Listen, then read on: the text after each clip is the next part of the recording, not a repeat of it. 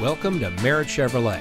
And here's a look at one of our great vehicles for sale and comes equipped with keyless entry, air conditioning, traction control, power windows, CD player, cruise control, power door locks, daytime running lights, cloth seating, rear defroster, and has less than 80,000 miles on the odometer.